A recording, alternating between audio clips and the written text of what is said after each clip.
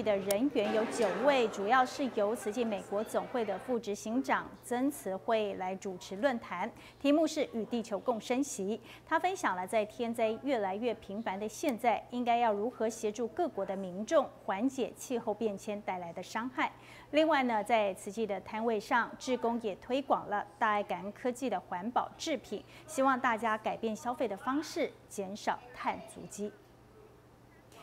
把握暑假的尾声，慈济在美国俄亥俄州的哥伦布联络处举办了儿童暑期两日的精进营队。特别的是呢，营队的课务规划跟